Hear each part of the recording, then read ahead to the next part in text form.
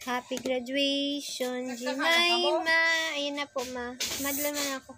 Happy graduation, Jemima. Huwag mo na i-blow.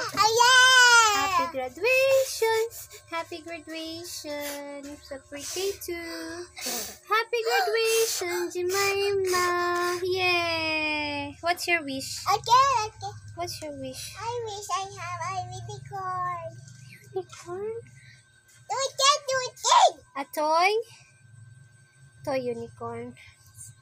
Okay, guys. We'll I want to it together. Okay. Oh no. Run out. May ano, may hangin.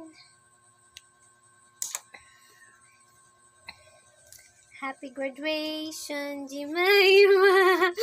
Happy graduation, Jemima! Di pa. Happy graduation! Using the nose? Happy graduation!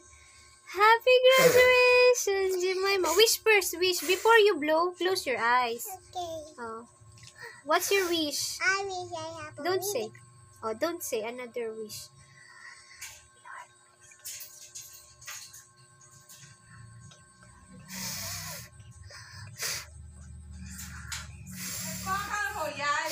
Iya po. Sep, Depa.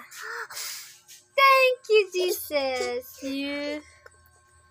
I'm ready to eat. Okay na. O, sige na. Eating time. Of course. Oh, I can touch the candle. Mommy, the candle. Scarlet. But I have to this. Ah, kutsara. I don't need.